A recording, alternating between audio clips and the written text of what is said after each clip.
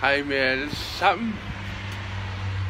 Og jeg har fået en pakke sendt hjem til mig i dag. Og, øh, og den vil jeg godt vise jer her senere i bloggen.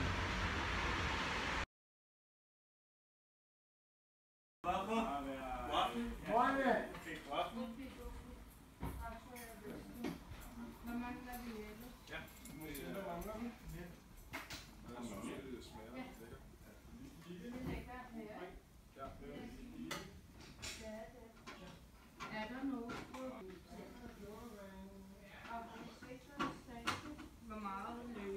købt mig- købt mig sådan en her til at spare lidt sammen i.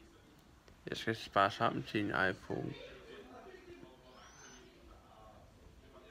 Mm, 8 plus måske. Det ved, det ved jeg ikke endnu. Men vi ses. Og have det godt.